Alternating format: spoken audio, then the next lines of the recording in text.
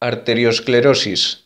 El término arteriosclerosis indica el endurecimiento de la pared arterial. Existen tres formas anatomoclínicas: la aterosclerosis, la enfermedad de Monkeberg y la arteriolosclerosis. Las diferencias entre estos procesos se establecen por tres datos: la zona de la pared afectada, el tipo de vaso lesionado y las modificaciones del tejido de la pared arterial. Aquí en esta tabla tenemos las formas de arteriosclerosis. En la aterosclerosis, la capa arterial afectada es la íntima, el tipo de vaso afectado son la aorta y sus ramas, pues las coronarias, las cerebrales, las renales, las de las extremidades. Y luego hay dos lesiones fundamentales, la acumulación de lípidos y la fibrosis, que es rigidez. Enfermedad de Monkeberg. La capa arterial afectada es la media, y el tipo de vaso afectado pues son las arterias de las extremidades. Hay dos lesiones fundamentales también, que son la degeneración muscular, o sea que se degenera la capa muscular de la arteria, y la calcificación, o lo que es lo mismo, depósito de sales de calcio. Y en la arteriolosclerosis se afectan dos capas arteriales, la íntima y la media. El tipo de vaso afectado pues son las arteriolas de los órganos y la lesión fundamental es la degeneración fibrinoide o lo que es lo mismo depósito de fibrina. Y luego aquí pues tenemos también un esquema de la patogenia general de la aterosclerosis.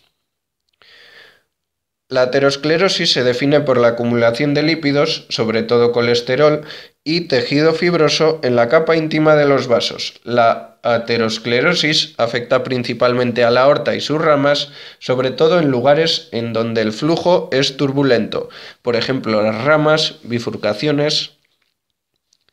Consecuencias. La aparición de placas fibrosas y sobre todo las complicaciones de la misma, trombosis y hemorragia, llevan a la estenosis u obstrucción y por lo tanto a la isquemia del territorio irrigado por esa arteria. Esto quiere decir pues que esa zona se deja de irrigar. Las consecuencias serán diferentes dependiendo del territorio arterial afectado. Fisiopatología de la circulación coronaria. Insuficiencia coronaria. Se denomina insuficiencia coronaria la situación en la que el aporte coronario es inferior al que necesita el miocardio en un momento determinado. Mecanismos y causas. Los mecanismos que dan lugar a la aparición de insuficiencia coronaria son de dos tipos. Disminución del aporte de oxígeno por el sistema coronario. La obstrucción coronaria es uno de los principales mecanismos de insuficiencia coronaria. La obstrucción puede ser crónica, cuya lesión más frecuente es la aterosclerosis y más rara vez la inflamación arterial, vasculitis o aguda, cuyos mecanismos más frecuentes son el espasmo coronario, las arterias coronarias se contraen y el miocardio se queda sin irrigar, y la trombosis sobre una placa de ateroma. La presencia de aterosclerosis ocasiona una obstrucción de la luz. En general, la obstrucción puede ser compensada por dos mecanismos. La autorregulación, porque la pared muscular puede dilatarse y contraerse, y el desarrollo de la circulación colateral. Esto de la circulación colateral pues es cuando las arterias principales están atascadas y la sangre busca otras vías para circular. No obstante, cuando la obstrucción supera el 80%, la reserva coronaria se agota y aparecen manifestaciones clínicas. Además de la aterosclerosis, dos mecanismos agudos de obstrucción importantes son el espasmo coronario y la trombosis. El espasmo coronario da lugar a una obstrucción reversible puesto que consiste en la contracción pasajera de las fibras musculares de la pared arterial. El espasmo coronario puede aparecer en coronarias aparentemente normales y también en las que exhiben lesiones ateroscleróticas, arterias con placas de ateroma. En algunos casos el mecanismo del espasmo es conocido. Puede ser consumo de cocaína, por ejemplo, aunque en la mayor parte de los casos el mecanismo es desconocido. Un mecanismo fundamental en el desencadenamiento de síndromes coronarios agudos es la complicación de una placa de ateroma. Aumento de las necesidades de oxígeno. Aparecen cuando aumenta la tensión del ventrículo izquierdo, en las valvulopatías aórticas o en la insuficiencia mitral, o cuando aumenta la frecuencia cardíaca, esfuerzos, emociones, Consecuencias. Las consecuencias de la hipoxia isquémica, falta de O2 por falta de riego, del miocardio, incluyen múltiples cambios bioquímicos que dan lugar a repercusiones eléctricas, mecánicas y tróficas. Tipos. Dependiendo de las manifestaciones clínicas y del carácter evolutivo, la insuficiencia coronaria puede clasificarse en varios tipos. Isquemia silente, síndromes coronarios crónicos, angina estable, síndromes coronarios agudos, angina inestable, infarto de miocardio y muerte súbita. Isquemia silente. Es aquella situación en la que puede demostrarse por exámenes complementarios la presencia de isquemia miocárdica pero no existen manifestaciones clínicas. Hay falta de riego, pero aún no hay síntomas. Mecanismos y causas. Habitualmente se debe a aterosclerosis coronaria. En esta situación se ha descrito un fenómeno denominado preacondicionamiento, según el cual el miocardio que ha sido sometido a breves episodios de isquemia seguidos de reperfusión o sea que el corazón se vuelve a irrigar, tolera durante más tiempo la isquemia coronaria. Manifestaciones. En la isquemia silente no existe dolor torácico ni otras manifestaciones clínicas de isquemia. Angina de pecho estable. Es la expresión de la insuficiencia coronaria transitoria que se repite siempre con las mismas características durante 6-8 semanas. Mecanismos y causas. La forma más frecuente es la angina de esfuerzo, en la que existe una obstrucción fija, habitualmente por aterosclerosis, y que se desencadena por un aumento de los requerimientos miocárdicos o por una disminución del contenido arterial de oxígeno dura menos de 20 minutos. Manifestaciones. Las características de la angina estable son el dolor y el electrocardiograma anormal. El dolor aparece en situaciones especiales, ejercicio físico, emociones, digestiones pesadas y se relaja con descanso y fármacos vasodilatadores, que son pastillas que se ponen debajo de la lengua. Angina inestable.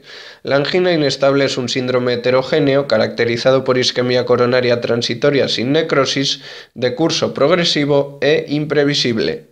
Mecanismos y causas.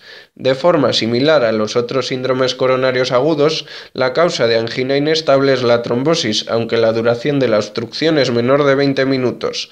No está relacionada con algo constante, no sabes cuándo te puede aparecer. Manifestaciones. La isquemia miocárdica produce dolor con las características mencionadas y se diferencia del dolor producido por la angina estable por sus características clínicas. Aparición en reposos, empeoramiento progresivo, inicio reciente. Al no existir necrosis no aparece aumento en el suero de marcadores de destrucción miocárdica. Infarto de miocardio. Es la expresión de la insuficiencia coronaria total que persiste más de 20 minutos ocasionando necrosis miocárdica. Si la reperfusión tiene lugar después de dos horas, el infarto afecta a todo el grosor de la pared ventricular, mientras que si la reperfusión se establece antes, se produce infarto en la zona subendocárdica. Mecanismos y causas. En la mayoría de los casos se debe a la complicación, trombosis, sobre una placa de ateroma. Los factores que se han relacionado con la rotura de la placa de ateroma y la aparición de trombosis son de dos tipos, histológicos, gran núcleo lipídico, elevado número de macrófagos y relacionados con las modificaciones del flujo sanguíneo, estenosis moderadas en arterias sometidas a gran presión. Consecuencias y manifestaciones. La consecuencia básica del infarto agudo de miocardio es la necrosis de la pared del ventrículo izquierdo y a veces también del derecho. Su expresión clínica incluye dolor, alteraciones tanto hematológicas como bioquímicas y cambios electrocardiográficos. Dolor. Tiene las características de los síndromes isquémicos con la diferencia de que es más persistente, dura más de media hora y no se calma ni con reposo ni con vasodilatadores, lo que es explicable por haberse establecido la necrosis. Alteraciones hemáticas. Como consecuencia de la necrosis se desencadena una respuesta inflamatoria siendo característica la presencia de leucocitosis con neutrofilia, aumento de los neutrófilos y el aumento de la velocidad de sedimentación globular, que este es un dato de inflamación. Marcadores de necrosis miocárdica. Aumentan en el suero varias proteínas características de los miocitos miocárdicos, los miocitos son las células del miocardio. Enzimas, mioglobina, troponina 1 o troponina T. Electrocardiograma. El trazado electrocardiográfico se caracteriza por estos tres detalles. Tenemos aquí una imagen del electrocardiograma normal y aquí tenemos una imagen de los datos electrocardiográficos característicos del infarto de miocardio. Pues bien, el trazado electrocardiográfico se caracteriza por estos tres detalles. La onda Q ancha y profunda, eh, hay una elevación del segmento ST y una inversión de la onda T. Estos datos aparecen en las derivaciones que recogen los potenciales de la zona infartada, por lo que el electrocardiograma sirve para la localización de la lesión. Muerte súbita. Parece seguro que una parte importante de las muertes súbitas son a causa de fibrilación ventricular, desencadenada por la insuficiencia coronaria. La fibrilación ventricular es un tipo de arritmia. Hay varias zonas que se contraen a la vez y por eso se produce arritmia, porque los movimientos están desincronizados.